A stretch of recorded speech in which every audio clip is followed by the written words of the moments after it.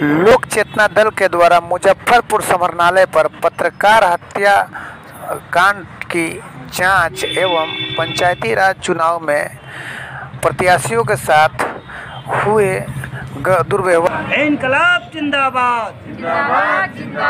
इनकलाब जिंदाबाद।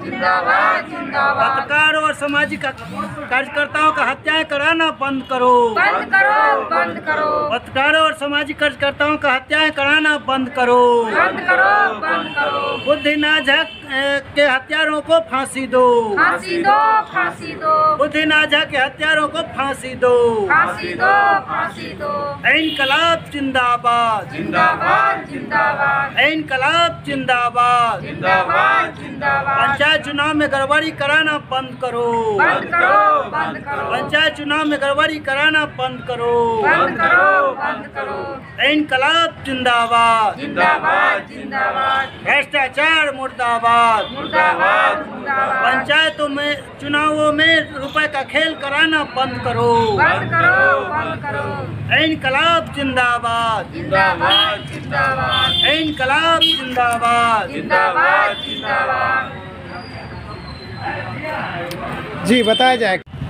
जी बताया जाए क्या मांग है आपकी और किस मांग को लेकर आप आज एक दिवसीय धरना प्रदर्शन कर रहे हैं? ये आज की स्थिति इतनी बुरी बनी हुई है। बिहार सरकार एकदम से खराब व्यवस्था बनाए हुए है, जिसके वजह से पंचायत चुनावों में जो है काफ़ी गड़बड़ी हो रही है।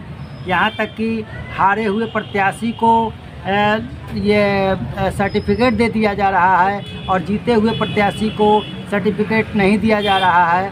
ये आपको मोहम्मदपुर सूबे पंचायत, जो मरवन प्रखंड के अंतर्गत आते हैं उनके सरोज राम जी जो पंच पद से जीते हुए थे, लेकिन उनको सर्टिफिकेट नहीं दे करके उनके विपक्षी को दे दिया गया।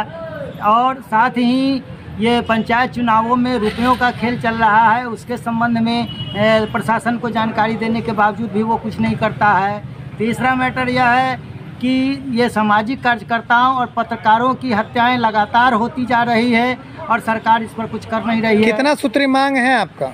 पाँच सूत्री मांग है जिसमें कि पंचायत चुनावों में गड़बड़ी करने वालों और उनको सहयोग करने वालों पर कार्रवाई की बात है और बुद्धिनाथ झा जो पत्रकार थे मधुबनी के उनकी हत्या जो की गई है उसके विरुद्ध कार्रवाई ठोस कार्रवाई हो और पत्रकारों और सामाजिक कार्यकर्ताओं को सुरक्षात्मक व्यवस्था दिया जाए।